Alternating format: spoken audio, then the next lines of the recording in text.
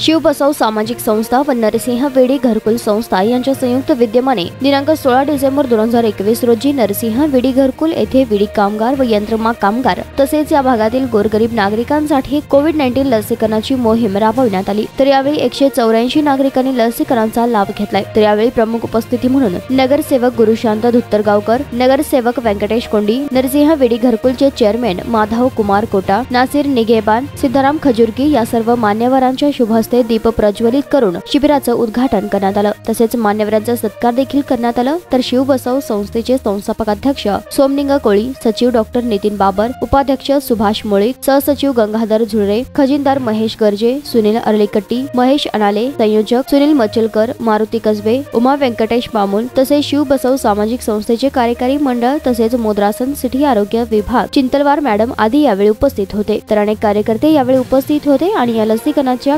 कार्यक्रमाचं सूत्रसंचालन आणि आभार प्रदर्शन गंगाधर झुळरे यांनी केलं. तेव्हा सगळ्यांची एकदम धावपळ व्हायला लागली.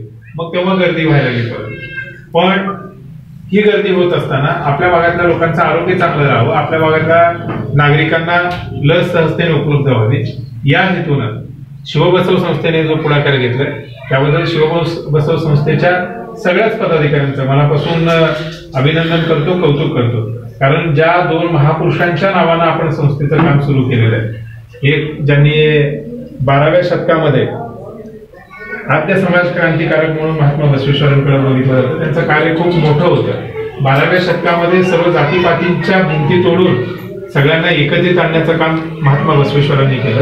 ते धर्मप्रसारक होते. तर सोळाव्या शतकामध्ये छत्रपती शिवाजी महाराजांचा जन्म झाला. त्यांनी हिंदवी स्वराज्य निर्माण केलं. तर या दोन महापुरुषांचं जर चरित्राकडे आपण बघितलं तर लोककल्याणकारी काम करणं समाज हिताची कामं करणं हेच आपलं त्या महापुरुषांच्या विचारांचं आचरण केल्यासारखं होईल. आणि ती कृती आपल्या संस्थेकडून घडते. संस्थेची यापुढची वाटचाल सुद्धा अशीच राहावी. संस्थेचं नाव लौकिक वाढत राहावं.